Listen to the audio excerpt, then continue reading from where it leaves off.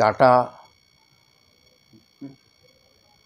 সেখানে যে টাকাটা দাবি করেছে তাদের কারখানা গড়েছিল সেই গড়াকে ভেঙে দিয়ে তার যে বিপুল ক্ষতি হয়েছে, সেই ক্ষতি সে দাবি করেছে। ট্রাইব্যুনালের রায়, বর্তমান সরকার কীভাবে চিন্তা করবে, দেবে কি দেবে না, কি অন্য কোর্টে যাবে, সেটা তাদের ব্যাপার। এই সরকারের সঙ্গে আমার আর কোনো যোগ বা কোনো রকম মতবিনিময় হয়নি।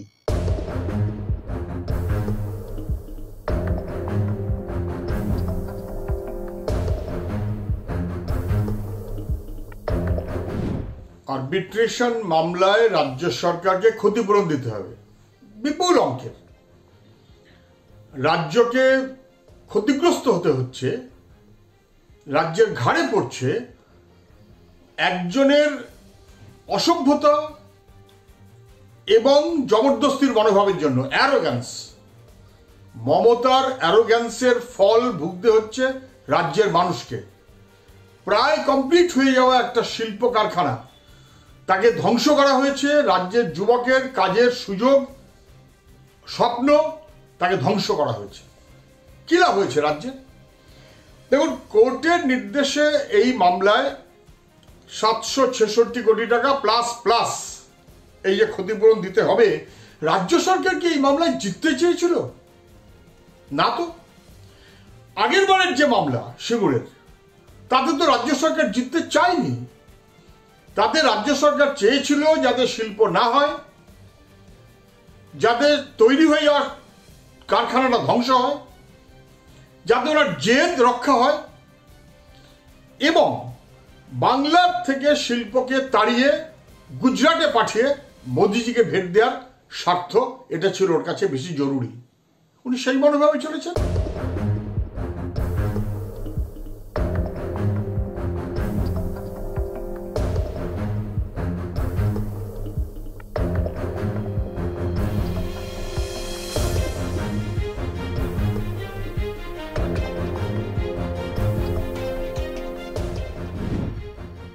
টাটার বিরুদ্ধে নয়।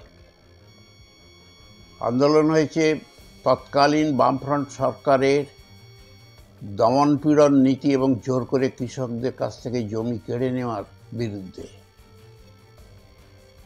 যার বিরুদ্ধেই হোক, কিন্তু ফলটা টাটার বিপক্ষেই গেছে। টাটা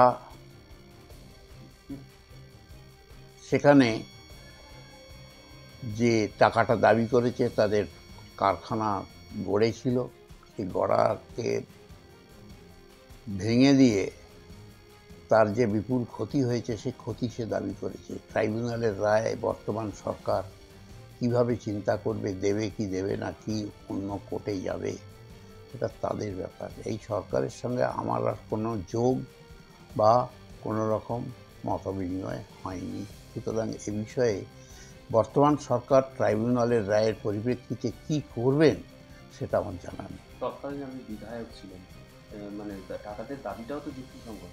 টাটাদের দিক থেকে যদি চিন্তা করা যায় টাটারা এ বিষয়ে সত্যই ক্ষতিগ্রস্ত হয়েছে এবং তারা দায়ী নয়। এই ক্ষতির জন্য দায়ী হচ্ছে তৎকালীন বামফ্রন্ট সরকার এবং যারা আন্দোলন করেছেন মূলত তারা। তাহলে তৃণমূল সরকার?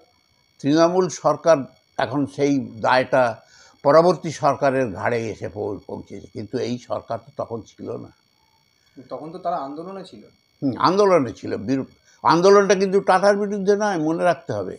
এটা হচ্ছে পুলিশি অত্যাচার এবং জোর করে জমি কেড়ে নেওয়ার বিরুদ্ধে। কিন্তু আখেরে তো আখেরে সিঙ্গুরের কারখানাও হয়নি। জমি ফেরত পাওয়াও সম্পূর্ণরূপে যায়নি জঙ্গল হয়ে পড়ে আছে, চাষিরাও ক্ষতিগ্রস্ত হয়েছে, টাটা চলে গেছে। সেটা শুধু সিঙ্গুরের দুর্ভাগ্য নয়, সারা পশ্চিমবঙ্গের দুর্ভাগ্য। তারপর থেকে আর কোনো উল্লেখযোগ্য শিল্পপতি এসে পশ্চিমবাংলায় শিল্প প্রচেষ্টা করেননি।